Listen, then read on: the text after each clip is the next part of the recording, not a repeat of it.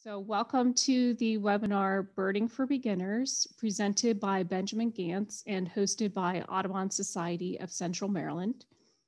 Benjamin is a volunteer and board member for our chapter. He has always held a deep fascination with an interest in the natural world, with birds being one of his favorites. He has developed his identification skills over the past several years and is now an avid birder. Benjamin is currently working on earning a Bachelor of Science degree in Biological Sciences from University of Maryland, Baltimore County. In addition, he has been gaining experience with other agencies and, and organizations, including the Phoenix Wildlife Center, Maryland Department of Natural Resources, and the U.S. Fish and Wildlife Service. Tonight, Benjamin will introduce ASCM's Audrey Carroll and Fred Archibald Sanctuaries in Frederick County, which offer good representations of the region's birding. He will discuss the various features that are important to know to make identifications, including size, shape, and plumage variation. A variety of other points will also be considered to give a well-rounded view of birding, including habitat types, Maryland geography, and the seasons of birding. So now I will turn it over to Benjamin.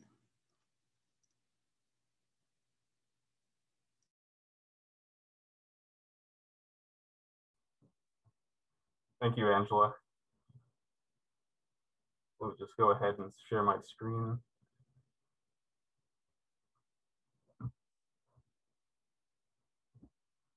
Hello, everybody. Thank you for joining me today. Uh, today, I will be giving uh, a, a presentation about the wonderful hobby of birding. Whoops, sorry. So what is birding? My definition is actively seeking to observe wild birds and their unique behaviors, often with the goal of making species identifications. And I would consider birding to be a spectrum. So at the one level, you could be pretty casual and simply enjoy the birds that are at your feeders in your backyard or around your neighborhood. You might be kind of in the middle where you travel around to different public lands like parks that are near your house to uh, look at different bird species and identify them. And then there's like the extreme where I've heard people will hear about a rare bird that shows up, they'll book a flight and go there to see it and add it to their life list, which a lot of birders have. They like to document all of the bird species that they've seen. And then after they see that bird, they'll go back home. So there's definitely quite a spectrum when it comes to birding. And um, I would consider birding and bird watching to kind of be interchangeable terms, but um, birding is kind of like a more involved form of bird watching. Like I mentioned before, there's usually a focus on learning the different bird species and identifying them. So I'll go ahead and uh, put out a poll. And it looks like the poll was already put out.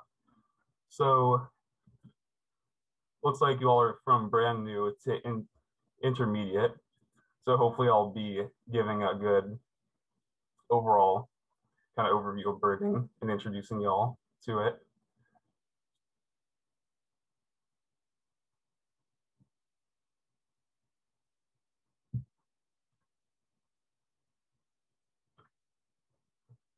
So there's a multitude of places that can be visited for birding.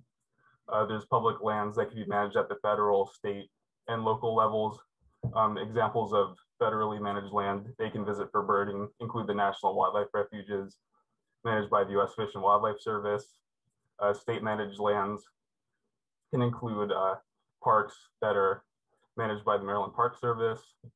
And there's also local, locally managed uh, public lands that can be managed at the county level, or in the case of our two Audubon sanctuaries that Angela mentioned earlier, those are also managed at the regional level since it's under our chapter. And like I mentioned earlier, you can also just go birding in your own backyard or neighborhood, which is the nice thing about birding. You don't really have to go that far to enjoy the birds that are around. This is a map that was developed by the Maryland Department of Natural Resources. It showcases some uh, natural areas in particular that can be really good places for birding. And this isn't by all means comprehensive. It doesn't show like all the different regional levels of management that I talked about, but um, it does show some particularly good places. And the nice thing about this map also is that it shows uh, the habitat variation found throughout the state. So in our chapter territory, Carroll County, Howard, Frederick, and some parts of Montgomery County, you can see it's kind of like a mix of agricultural lands and farmland, some forest, and then more developed areas, towns and cities. You can see from the key in the diagram. And then you have other types of habitat, um, like more forests out in the western part of the state. And then you have some marshes uh, down on the eastern shore. And these different environment types make for different habitats, which attract different bird species.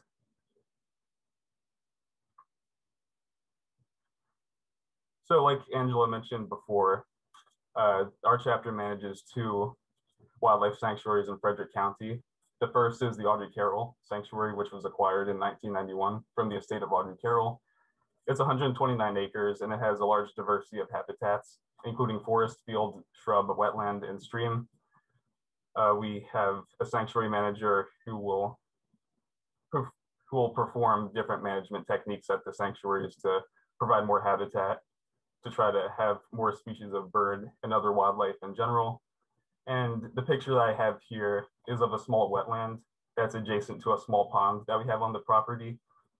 Um, we had we had a beaver move in uh, about a year ago, and it blocked outflow structures on the pond to regulate the water level, and that caused uh, the area to be inundated with water, which made this little wetland oftentimes that can be considered problematic in more developed areas, but in our case, um, it, it's quite helpful because it made a new habitat type.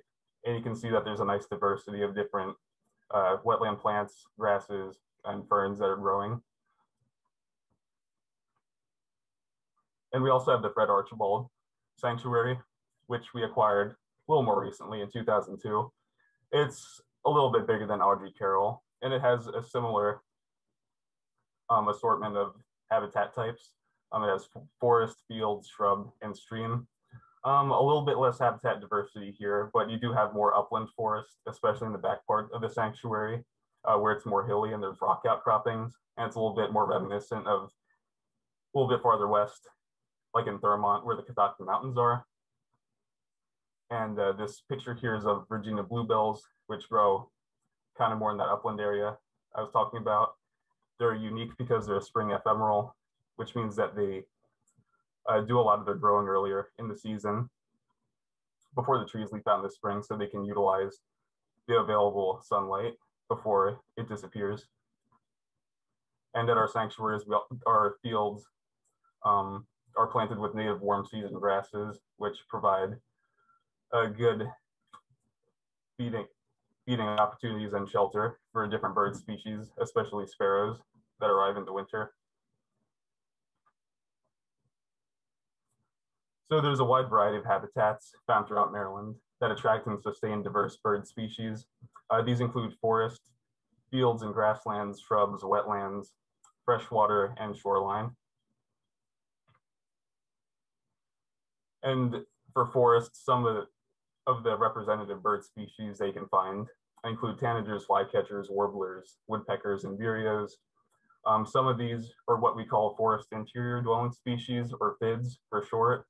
Um, these birds prefer large undisturbed tracts of forest for breeding and just for feeding and being around in general.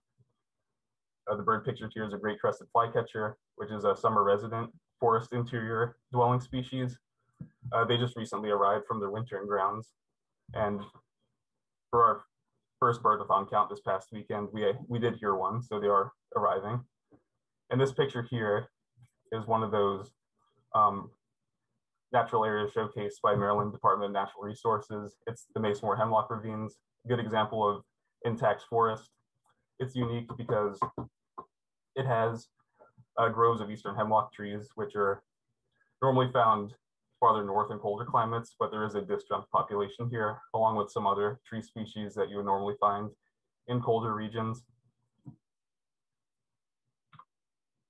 And we have fields and grasslands with bird species including sparrows, bluebirds, meadowlarks, and hawks. Uh, we have a song sparrow pictured here, which um, is a common year-round resident bird species. Uh, more than likely, you probably heard one just by being outside. I'll be going over their songs more in depth later when I'm talking about bird song. But um, they are a species that prefers open areas. And I kind of lumped fields and grasslands together, but they are a little bit different. So grasslands generally are more expansive and they're naturally occurring without human influence. And they usually have an assortment of native grasses and other low growing plants, which are native. And then you have fields, which are oftentimes man made. So Maryland would normally be forest mostly, and there's lots of areas that have been cleared. And after that occurs, then grasses and wildflowers and other shorter plants will come up. And that then that makes fields. And this provides uh, a different habitat type that's needed by certain bird species like sparrows and bluebirds. And we have shrub habitat, which includes species such as thrashers, vireos, wrens, chats, and woodcocks. Um, a lot of the birds that prefer this habitat type, like the white-eyed vireo pictured here, are pretty secretive, and they'll usually hide in the thick tangles of vegetation.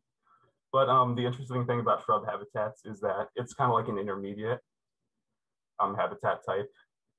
And there's a process called succession, which um, is changes in plant communities over time. So if you clear an area and it's just dirt, you'll have grasses and wildflowers and other low growing plants established first. And then you'll have shrubs come up like pictured here. This picture is from the succession slope at the Audrey Carroll Sanctuary.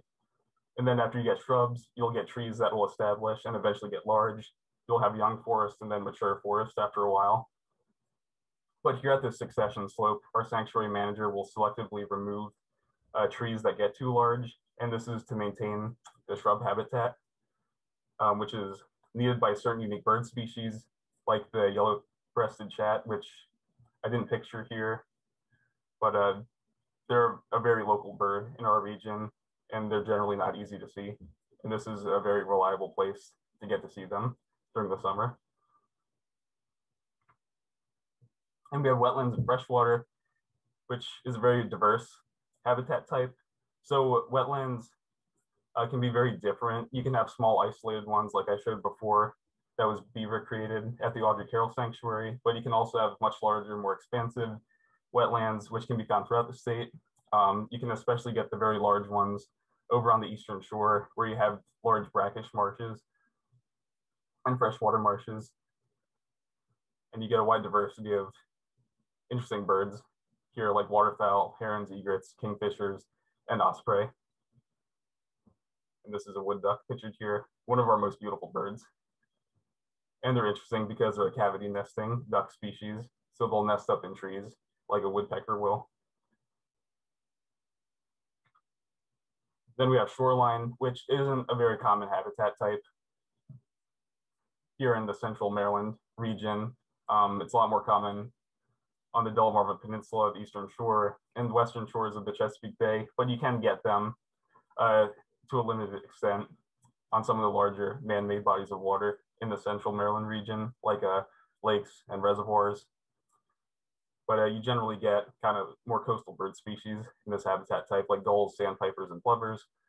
And uh, the bird picture here is a, the bird picture here is a ring-billed gull, which um, is really the only frequent gull species that you'll see in central Maryland. Uh, they are found year round technically, but they're much more frequent during the winter. Uh, they mostly breed up north and they come down um, during the winter.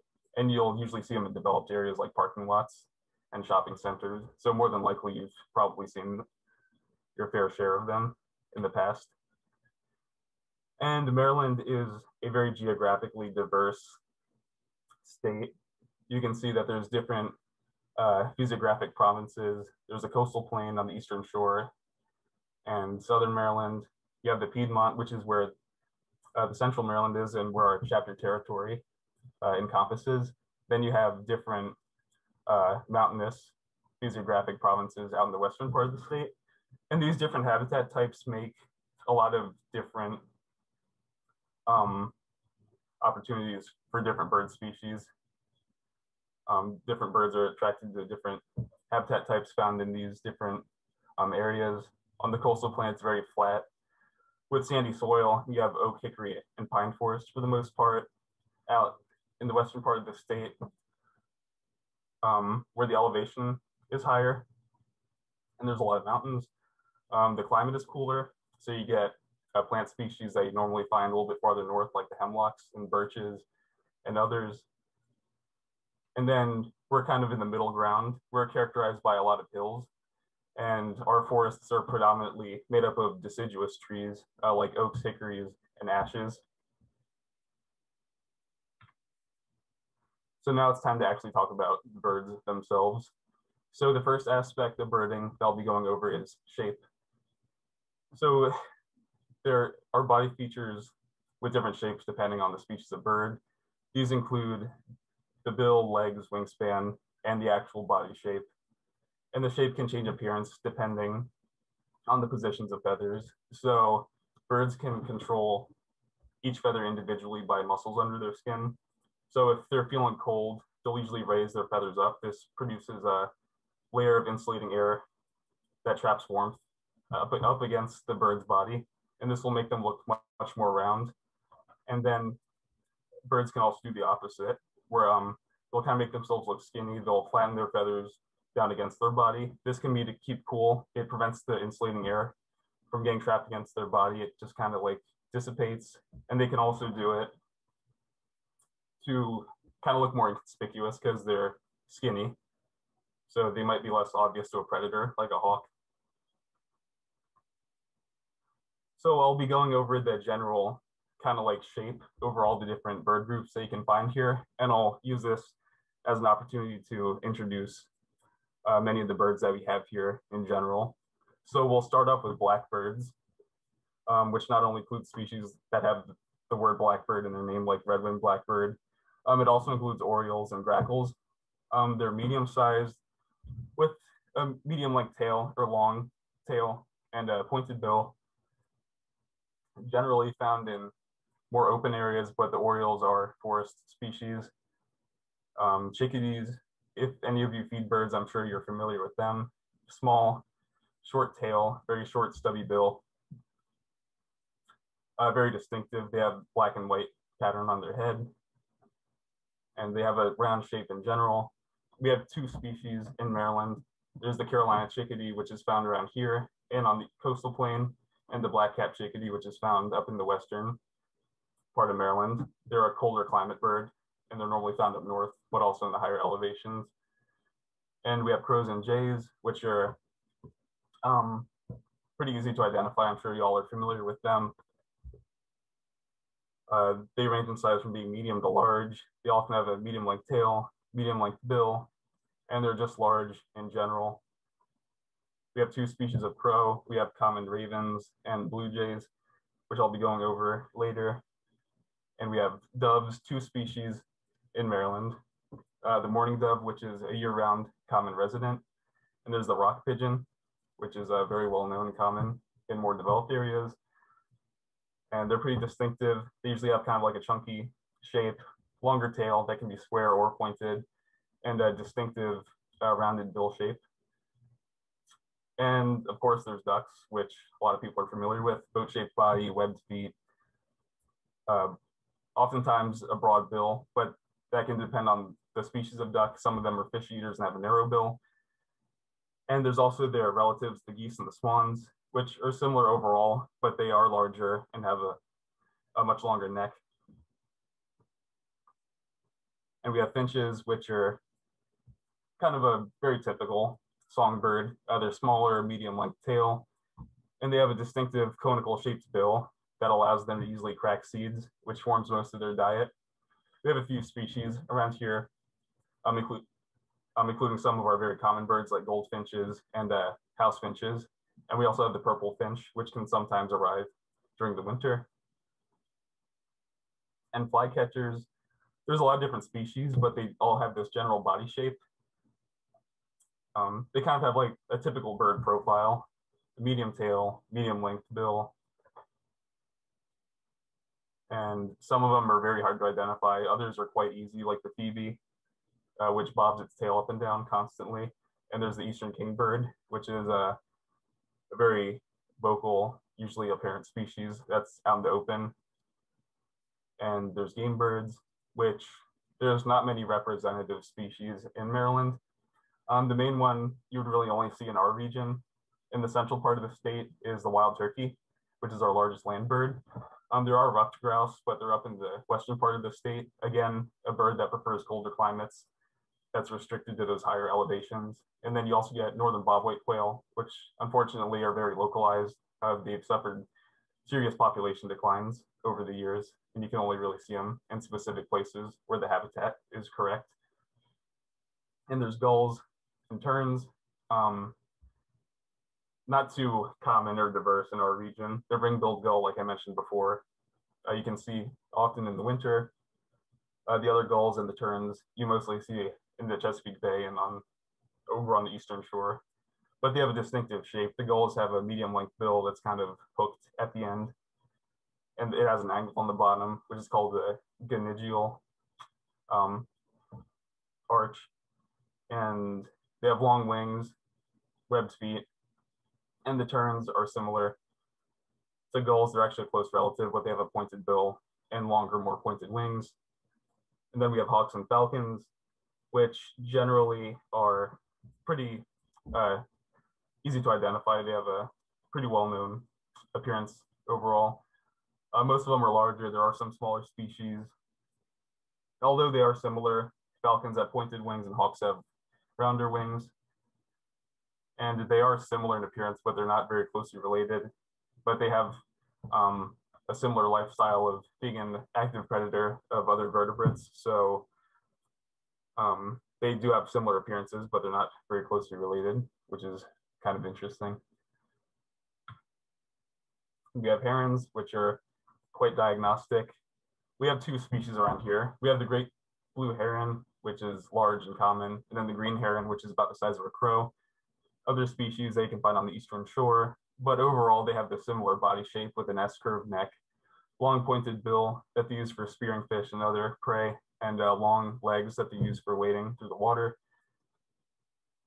Uh, hummingbirds, which I'm sure all of you can probably identify, very tiny, long, thin bill uh, that they use for drinking nectar from flowers, uh, angular wings that are beat really fast, so fast that they look like a blur and create the humming sound, which gives them their name.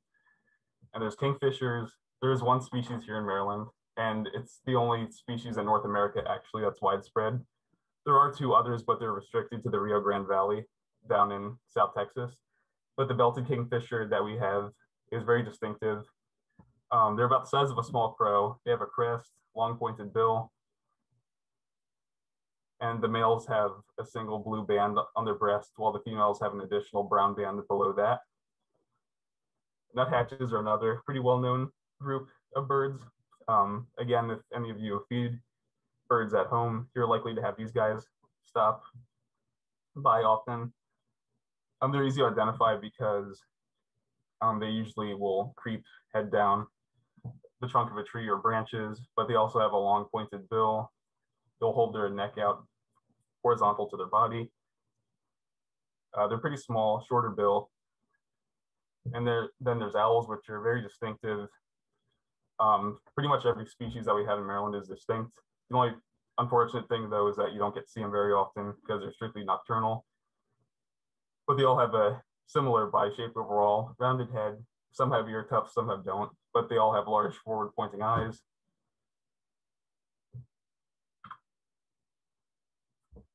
And we do have a few species of shorebird here in central Maryland, not too many, but the few that we, we do have, they um they're similar to all the other shorebird species in body plan. Uh, they generally kind of have a teardrop shaped body, long bill, longer neck, long legs, and they have pointed wings that they generally flap really fast when they're flying. Um, we have the killdeer, which is a species of plover they can find in open areas, as well as some other bird species, uh, sorry, some other uh, shorebird species uh, that you can get here, like spotted sandpiper and solitary sandpiper. But the shorebirds are kind of a challenging group, but there thankfully are easier to identify species around here in central Maryland. And sparrows are similar to finches. Uh, they're medium-sized songbird. Uh, they also have a conical bill for cracking seeds. Uh, it's a little bit smaller though. Uh, they have a long tail, a lot of different species that can be found um, throughout different types times of the year, depending on the species. Some of them are kind of tri tricky to identify. So if you get into birding more, um, that's definitely a little bit more of a challenging one that you'll probably uh, kind of get more familiar with in identifying. And there's thrushes. Um, I'm sure you all are familiar with one of this thrush species, the American robin. And there's also other species as well around here, like the wood thrush and the hermit thrush. Um, they all have the same body sh shape overall. They're medium sized, kind of have a typical bird silhouette, medium length bill, longer tail. And there's swallows and swifts, which are called aerial insectivores. So they spend most of their time flying and they'll grab flying insects and eat them in the air.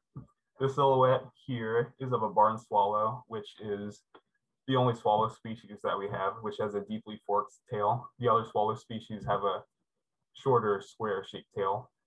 And the swifts are similar to swallows overall in their body shape and in their habits by spending most of their time in the air. But they're actually not related to swallows, kind of like with hawks and falcons. They're actually more, their closest relatives are hummingbirds, and they're the only birds other than hummingbirds that beat their wings in a figure eight configuration, which is pretty interesting. But they have more of a cigar shaped body and very um, shallow, rapid, stiff wing beats.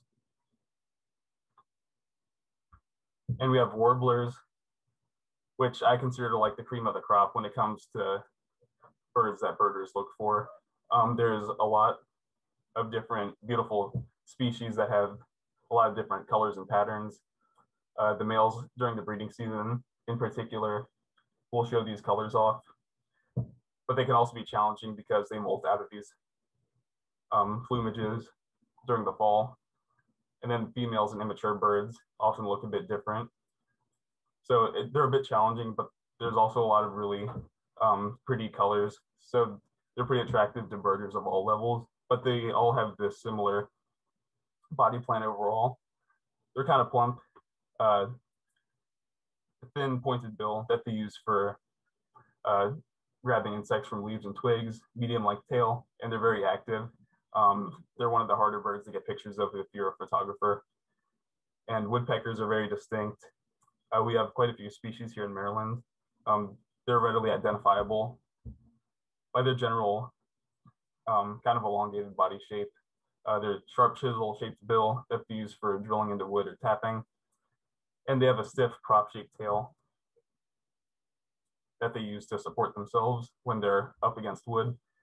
And some species that we have are the hairy woodpecker, downy woodpecker, northern flicker, red-bellied woodpecker, the pileated woodpecker. And we also have wrens which are usually associated with people. You can find them in towns and suburban areas. They'll usually often nest like on your porch in old boots, flower pots, and pretty much any other place they can find. But they're pretty distinct. They have a long, what's called a decurved bill that curves downwards, and they have a tail that they hold up at an angle almost all the time. And these are just a few pictures to kind of showcase the variation that birds have in their body shape.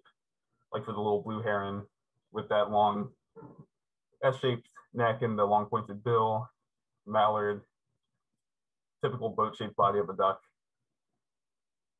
And the song sparrow, which is doing what I mentioned before, where it's fluffing its feathers out to stay warm, so it, it looks really plump. And it could also make itself look much thinner if it wanted to.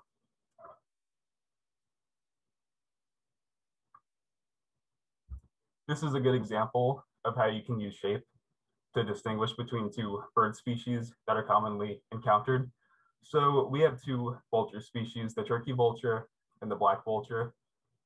Now, the turkey vulture, when it's soaring, um, it'll hold its wings in what's called a dihedral, which is a shallow D shape. And then the black vulture will hold its wings out um, straight and you can see that the black vulture also has a rounded trailing silhouette, The turkey vulture has a more angular trailing silhouette. And turkey vultures, well, this doesn't really have to do with the shape, but it's just helpful to know for the two. Um, turkey vultures generally fly lower to the ground and they teeter back and forth. And black vultures generally fly up higher and they um, will fly pretty level. They don't really teeter. And the interesting thing about black vultures is that they're actually a relatively new bird in Maryland. They formerly only occurred north to North Carolina, but over the past couple of decades, they've been expanding their range north, and now they're found throughout Maryland and up into the southern New England states. The next aspect of birding that's helpful to be familiar with is size. So birds occur in a multitude of sizes depending on the species. In Maryland, they range in size from the diminutive ruby-throated hummingbird, our smallest bird, to species like the bald eagle, where females can have a seven foot wingspan and weigh over 12 pounds. And then you have wild turkeys, which are, are our largest land bird. Uh, the males can reach weights of up around 14 pounds. And this is just a scale to uh, show the relative sizes of some more common birds. Um, it's very helpful to be familiar with this. So if you see a bird that you're not really familiar with and you want to identify it, um, you can kind of get a, you can know like what size it is compared to other bird species. So you, if you see something, you can be like, oh, it's about the size of a robin, or it's a little bit bigger than a sparrow, or it's a little bit smaller than a crow.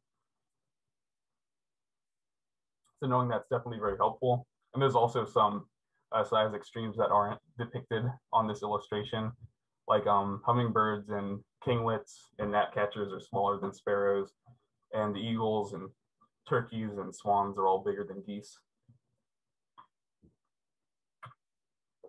And this is um, an instance where it's helpful to know difference in size between species to identify them. Two of our woodpeckers that we have, the downy woodpecker and the hairy woodpecker, are very similar in appearance, but the hairy woodpecker is a bit larger. So this is the main thing you can use to tell them apart, because you can, as you can see, um, the patterning and coloration is very similar between the two species. And on the hairy woodpecker, the bill is proportionately longer than the downy woodpecker but it's definitely the most important to know to know the size difference between the two. And you also have crows and ravens. So the interesting thing about ravens is that formerly they only occurred out in Western Maryland where it's more mountainous and a little bit cooler, like how, how like how I was explaining earlier.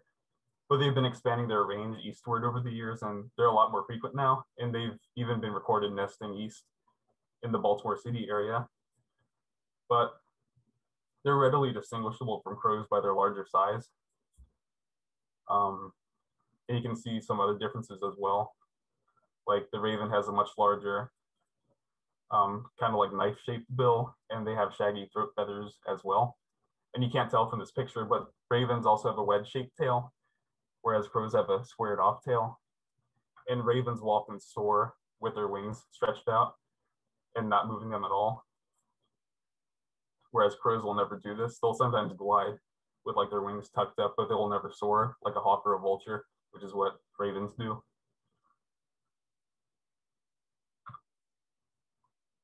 Another important aspect of birding is, is color and pattern. So there's a multitude of feather colors and patterns uh, for different species of birds. Um, there can be differences in the appearance uh, between males and females and juveniles of the same bird species. And it's also possible for individual birds of the same species to change their appearance depending on the time of year. So this kind of just gives a nice little overview of the diversity and color and pattern between different bird species. Um, there are some on here like the golden crown sparrow and the Oregon subspecies of the dark eyed junco that aren't found around here. They're out west. But um, a lot of these birds do occur around here, like red-bellied woodpecker, the hairy and downy woodpeckers that I mentioned earlier, uh, American goldfinches.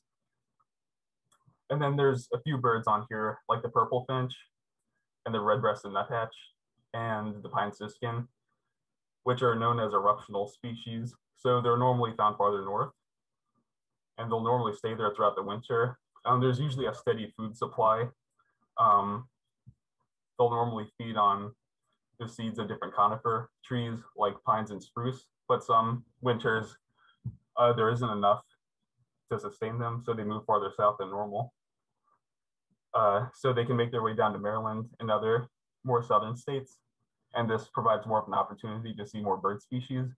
And this past winter in particular was a really good eruptional year. We actually had two purple finches at our first birdathon count at the Fred Archibald Sanctuary this past weekend. So they're still around. And I did hear a red-breasted nuthatch a few weeks ago as well. And here's just a showcase of color and pattern variation between some common bird species that you all are probably familiar with, two of these at least. Um, so you have the bluebird. You can see that they're not all blue. They also have distinctive chestnut and white coloration underneath. Uh, the blue jay, very distinctive color and pattern overall. I'm sure a lot of you are familiar with them. And we have the white-throated sparrow, which as you would guess by the name, they have a characteristic white throat, which is a good thing to look for uh, when identifying them. These are a winter resident species only. So they're starting to move out of here now to go to breeding grounds farther north.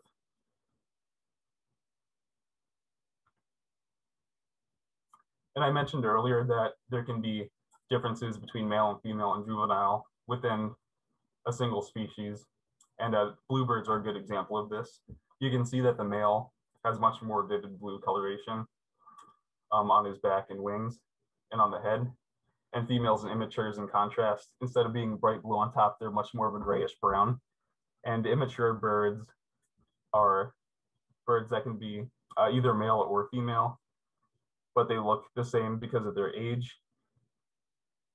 And the males will molt out of these dull feathers as they get older into their more colorful breeding plumage, like what's shown here.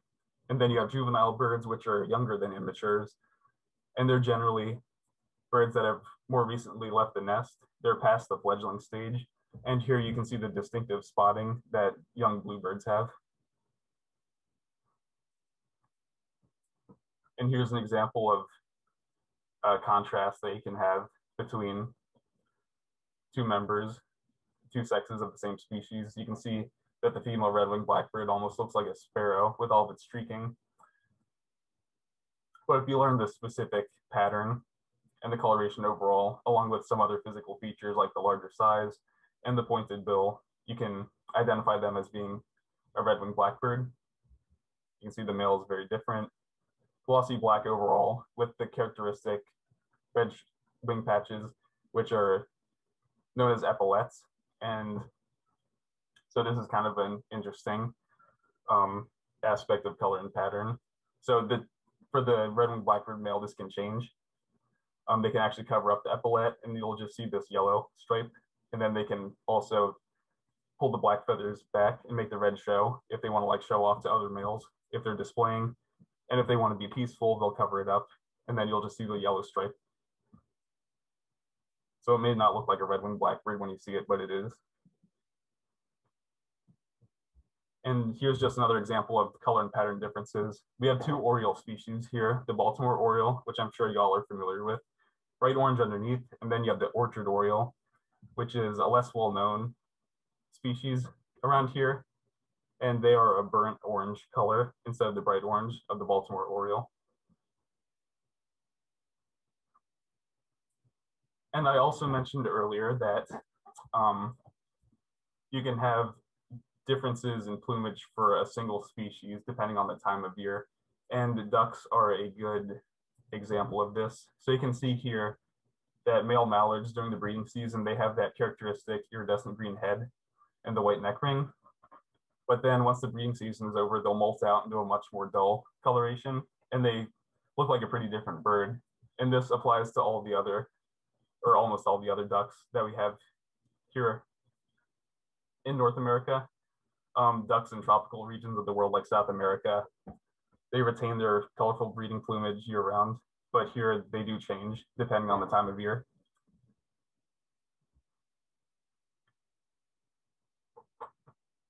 So those are all the physical attributes with birds that you can look for. I tried to select um, good representative examples to give you all a good introduction. So now we'll move into range maps, which is another helpful aspect of birding. So certain bird species may be found in Maryland year round, during migration only, or only during summer or winter. And the seasonality can also depend on the location in the state for some of the species. So the range map on the left, you can see it's for the mourning dove. This is a common year-round resident in Maryland, and you can see that uh, by looking at the uh, the colors on the legend, which will be the same for all the range maps that I'm going to show. And then for the Baltimore Oriole, you can see that we're in their summer range only. They'll arrive during spring migration. Um, we did get Baltimore Oriole at the Fred Archibald Sanctuary last weekend. So they are arriving and they'll stay to breed for the summer and then they'll move back down south during fall migration.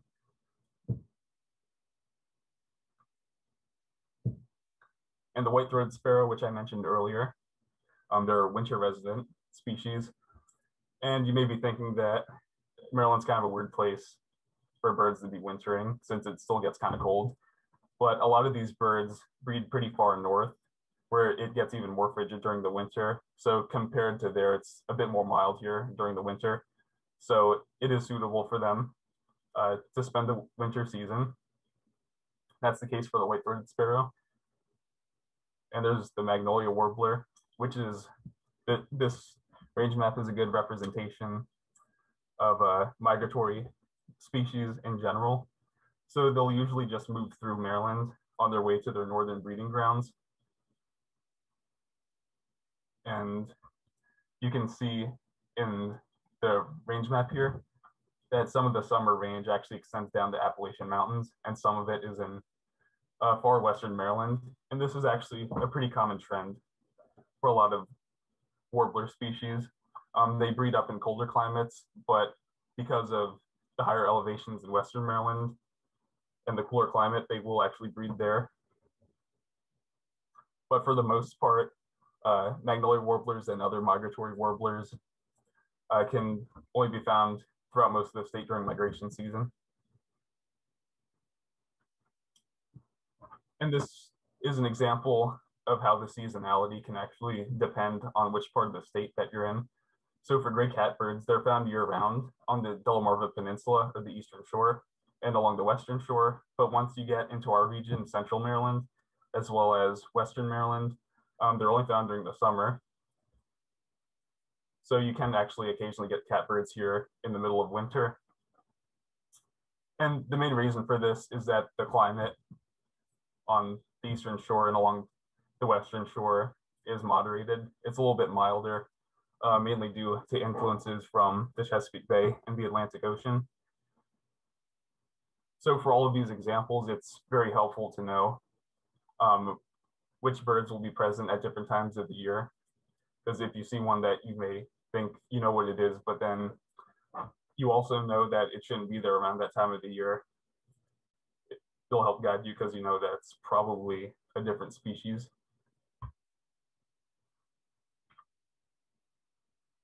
And voice uh, can be a very helpful way to identify birds. Um, there is a difference between bird song and bird call. So songs are generally more drawn out and complex. Um, they're usually for one or, or, one of two reasons. Um, the first is defending territory. Um, the males will do it to announce that they kind of own the area and for other members of the same species to stay away because they want the resources in that area to themselves for raising a brood. And the song can also be for a male bird to attract a female. And you also have calls, which are generally much shorter and simpler than song. Um, they can be given for multiple reasons, um, such as an alarm call to let other birds know that there's danger, or it could be a contact call between members of the same species. And it's definitely more of an advanced birding skill, learning the voice. Um, along with a song for many birds, you can have multiple calls that sound a little bit different. And then you can have similar sounding calls and song between different species, so it can get kind of complicated. but it's definitely something good to look into if, if you get into birding. So these are spectrograms, which allow the visualization of um, the sound waves that a bird produces when it sings or calls. Um, I have one for both the song and the call of the song sparrow, which I mentioned before, a common bird that you've likely heard. And you can see here that the song is a lot more complicated and drawn out than the, the single note of the call. And learning these different um, aspects of a bird of a bird's voice can help with identification. And here's a few more examples of spectrograms. First one's from a wood thrush, which has a really uh, rich fluted song. I think it's one of the nicest bird songs that we have around here. And then there's a Carolina chickadee um, song spectrogram. You can see the big difference uh, between the different uh, bird species with how the notes appear. And having this visual reference can be really helpful if you're learning calls. So I've sometimes tried to learn birdsong just by listening to a recording like 20 times, and it usually doesn't work out because I just forget it anyway. But if you're more of a visual learner like I am, um, you can uh, remember what the different notes kind of look like and the sound that's associated with it. So that can really help with again blurred bird voices better. And it also helps to get out in the field and hear birds in person as well. This is a really good example of using voice to distinguish between two species. So we have two species of crow here in Maryland. We have the American crow, which gives that distinctive caw, caw, caw that I'm sure everybody has heard. And we also have the fish crow, which gives a very high nasally sound it sounds very different. If you get to hear both out in the field, you'll definitely um, not mix them up and you'll be able to identify both from that point forward. But it's kind of interesting. The spectrograms for these two actually look pretty similar by the way that the notes appear, but they are very different when you hear it. And American crows are very widespread. You can find them in pretty much any open area. They're found throughout the lower 48 states pretty much. And the fish crow has a much more restricted range. It's confined to kind of areas near the coast and along larger river systems, but they will also be found in just kind of more open areas like towns, open woodlands, places like that. But they still have a restricted range. But they are still pretty common in our region. And I know this is an introduction to birding presentation, but I figured I'd kind of introduce um, some challenging aspects if you do get into birding. So there are certain birds uh, that can have really similar appearance overlap, like warblers and flycatchers and sparrows. Um, here you have a female common yellow throat. And I mentioned earlier that the male warblers are usually easier to identify than females. In the case of the yellow throat, uh, the males have a distinctive black mask on their head. And then you have, when you have the female, which doesn't have that, um, she has a similar appearance to immature or female Nashville warblers, a similar overall appearance. then you have these flycatchers. Uh, there's several more that look like this. Um, they're called Flycatchers, and they're super tricky. You basically can't tell them apart by looking at them. You have to listen to their voice to distinguish them. And the sparrows can be kind of tricky too. We have the song sparrow, which is that common one that I've talked about a couple times. And there's the Savannah sparrow. Um, but generally you get song sparrows because they're much more common, less picky about their habitat. You can find them in brushy areas along woodland edges and in forests themselves, as long as there's enough shrubs and in fields.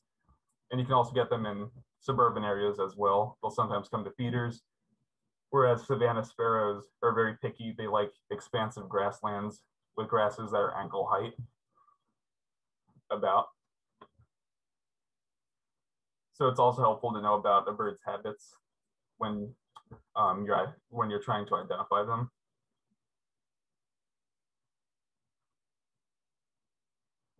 And there are a multitude of helpful birding apps that will help you um, make identifications. There's eBird, which is really great for logging the species that you see out in the field.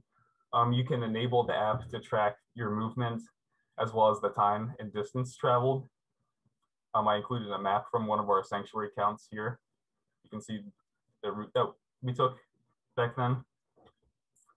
And then you also get to put down all the different bird species you were able to identify either by sight or by hearing them.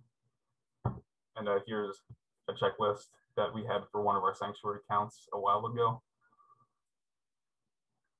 And then there's the Merlin ID app, uh, which is very helpful. Um, you can see here at the bottom, uh, there's an identification process that you can go through. If you see a bird that you're not um, sure what it is, you can go through these steps and you, it'll help you make an identification. And there's also um, the option to explore birds. Um, the GPS will zoom in, or I guess kind of go into where you are specifically, and then it'll give you an exact list of the birds that are most likely to be around. And it also shows the different times of year that they're likely to be present. And each species has a profile that shows multiple pictures showing differences between males, uh, females, immatures, and juveniles, along with a range map and spectrograms of the songs and calls. So it's kind of like everything that I've talked about into one, and it's a really useful resource uh, for using for birding. And there's other official apps as well. There's one um, that's been developed by the National Audubon Society, as well as some others. I don't have experience with them, but I would definitely recommend eBird and the Merlin ID app. And eBird is how you record lists of birds that you see in your neighborhood, your backyard for our upcoming uh, Birdathon event this weekend. So that's a good opportunity to familiarize yourself with the app if you haven't um, used it yet. And there's different seasons of birding. There's spring and fall migration, which is kind of the most exciting. Um, there's what I call the summer doldrums, which, as you might expect from the name, isn't too exciting. And there's wintering species as well. During spring and fall migration, uh, there's a lot of species that breed farther north that pass through Maryland. Uh, these mainly include songbirds such as warblers and vireos, which I've discussed. And migratory species can be found in many places. So you, you don't have to go to like a big uh, public land area uh, to see a lot of migrating birds. Um, you can also find them in smaller forests and woodlots that might be in your neighborhood or in a local park. Um, migrating birds don't need to set up a territory uh, to get resources to raise their brood. Um, so you can get a lot of them crammed into a relatively small area because they're just kind of moving through and trying to get food as they go. So that makes migration season really exciting because you kind of never know what's going to show up where. I had a black-throated green warbler uh, singing from my backyard the other day. And this also makes it um, exciting for the upcoming Birdathon event because you might uh, get some cool stuff in your backyard or a nearby woodlot.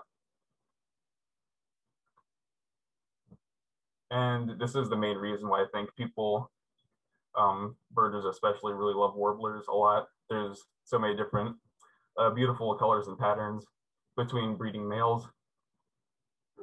All of these species, except for the black pole warbler, follow that common trend of being present as a migrant um, throughout the state most of the year. Or sorry, only being present throughout most of the state during migration, but you can find them up in the higher elevations in the western part of the state. And we have gotten all of these over the years at our sanctuary counts.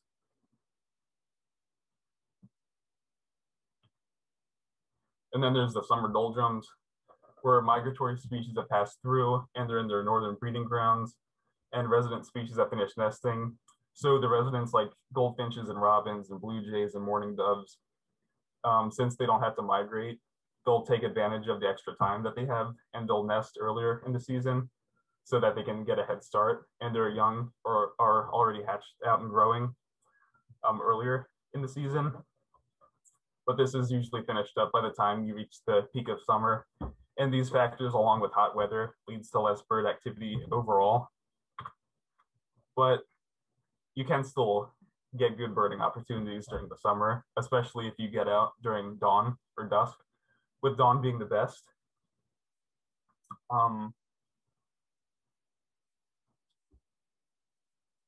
and I just have a few um, pictures of common birds that are found year round uh, that you can see pretty easily, including the quintessential rock pigeon that I'm sure you all know and are familiar with. We have the red-winged blackbird, which we talked about before. Um, they're kind of a wetland specialist. They don't need a really big wetland though. If you have a roadside ditch with some cattails or a willow thicket, you can also get them breeding in there too. And they will also sometimes use overgrown fields for nesting like at our Audubon sanctuaries. And you also have the mourning dove, common year-round resident.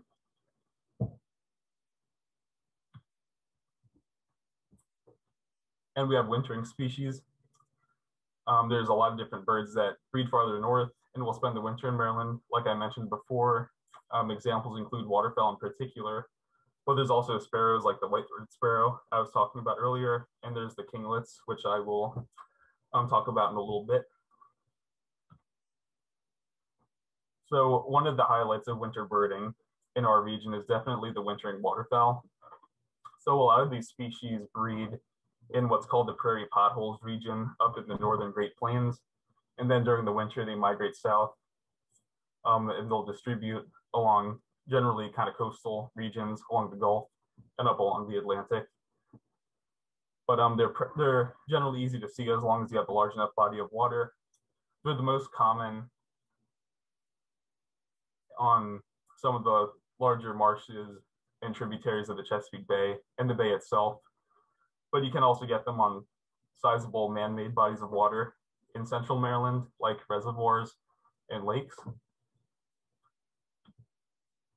Um, some of these species like the bufflehead and the hooded merganser um, are quite common locally. And these pictures were taken at the Piney Run Reservoir. And you also have the redhead duck and tundra swans, which you can sometimes find in our region. Uh, they'll usually just pass, they'll usually just pass through though. During migration season, they're generally abundant um, in the bay and the nearby wetlands um, that are on the eastern shore. But as I was um, explaining earlier about the ducks with their eclipse plumage, um, they become colorful when they're here for the winter, which is nice. They're all um, dolled up and pretty when they're here for the winter. Makes them easier to identify.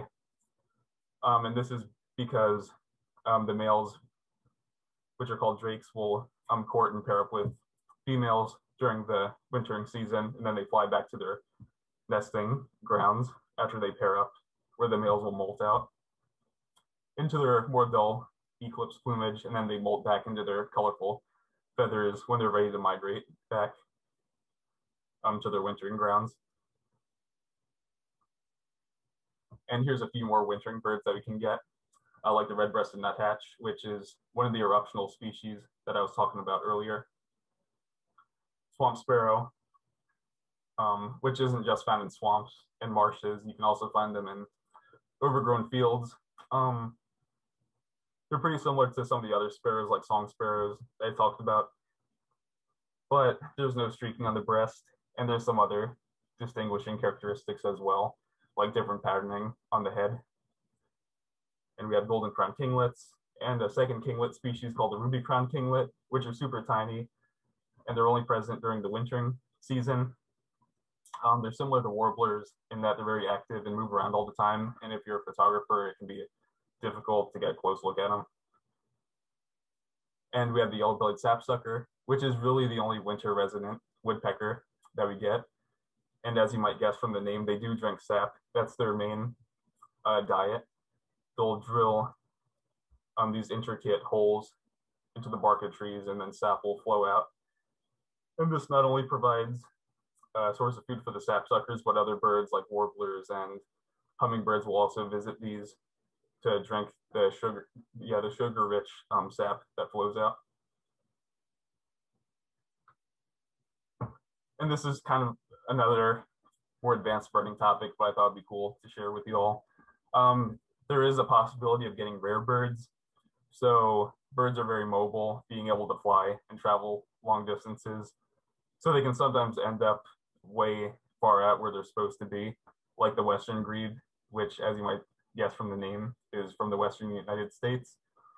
Um, this pair was actually found in Loch Raven Reservoir over in Baltimore County. So you don't always have to travel too far um, if there's a rare bird that shows up. And if you get into the birding loop, um, you'll usually be you'll usually be able to find out some way or another that there's a rare bird around somewhere. And the Mississippi kite is a southern raptor. They're similar to black vultures. Like I mentioned before, how they expanded their range northwards. And Mississippi kites are basically doing the same thing. Um, they were just recently documented um, nesting in southern Maryland for the very first time over the first couple of years. So they'll, they will probably become more common as the years go on. The varied thrush, really beautiful bird, native to the Pacific coast of North America. One showed up in um, St. Mary's County about a year ago. And the Eurasian widgeon is interesting because they are normally found in Europe and Asia, but they will make their way over here to North America during the winter. And they can actually be um, pretty reliable to see. During the wintering season, you just have to go to the right spot.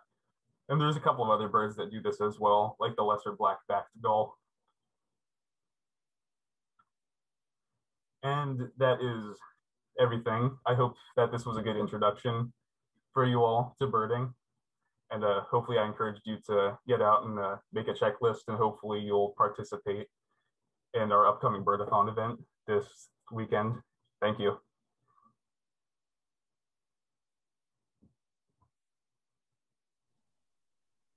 Awesome. Thank you so much for that informative presentation. And I want to go ahead and remind our participants that you can put your questions for Benjamin in the Q&A box, which you'll find um, down at the bottom of your screen. Um, and so question for you, Benjamin, um, and if you, you can come back on camera if you'd like. Um, what do you recommend um, in terms of how to learn um, identification and songs and calls. You mentioned a few apps. Um, are there any websites and what's the web best way to, to go about? Um, so the Merlin app that I mentioned earlier is a really good resource. It has the songs and calls for all the different birds that you can find in your specific location. But the Cornell Lab of Ornithology, All About Birds website is also a good place to learn. Um, you can play calls there as well. All right. Um, uh, we have a question that's not necessarily specific to birding, but um, how do you attract hummingbirds to your yard? Um, and I would say to plant native plants that they like. Um, uh, coral honey, honeysuckle is one. Um, any type of plants like that that um, offer the nectar that they seek. Do you have anything to add to that? Um, I was going to mention that the trumpet honeysuckle that you mentioned, that's really helpful. I have a couple plants in my backyard. Hummingbirds are always going to that.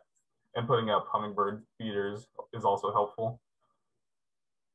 Um, and how do you keep away starlings and sparrows from your feeders? Um, it's kind of impossible to keep uh, them away 100%. I have heard in the past that putting out safflower um, is kind of discouraging to house sparrows and starlings.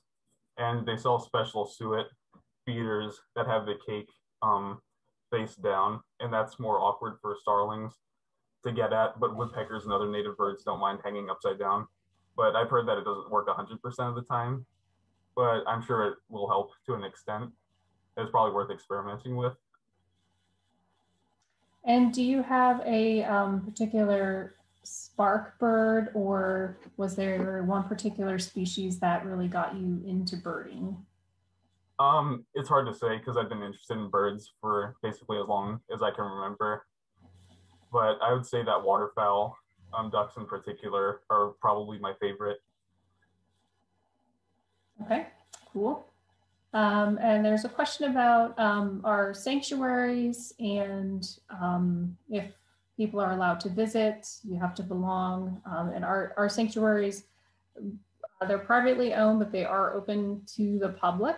Um, we ask that you don't bring your dogs and don't bring things like ATVs, but otherwise, um, yeah, they're, they're open to anyone who wants to visit. Um, we do have nature walks there once a month. Um, we have been having registration for those due to COVID, um, and they do tend to fill up really quickly. So I would uh, just watch our social media sites and our newsletter for notice of those, and then try to sign up um, as soon as you can.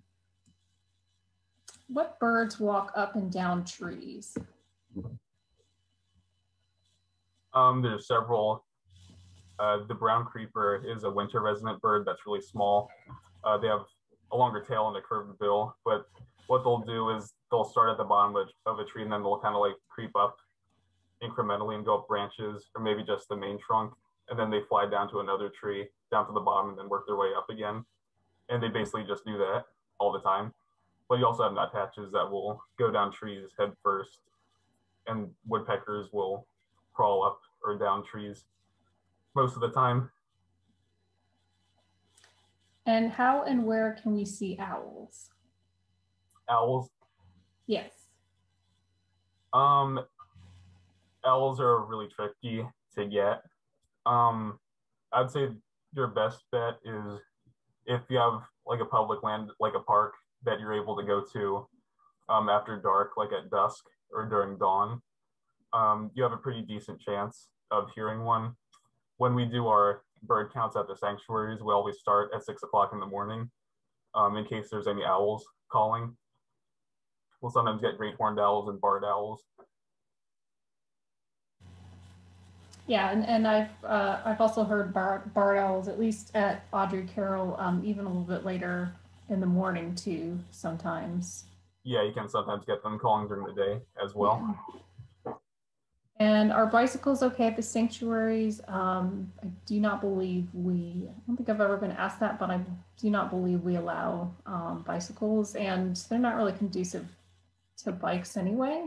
Um, some of the areas are pretty grassy. Um, they can get muddy and stuff. So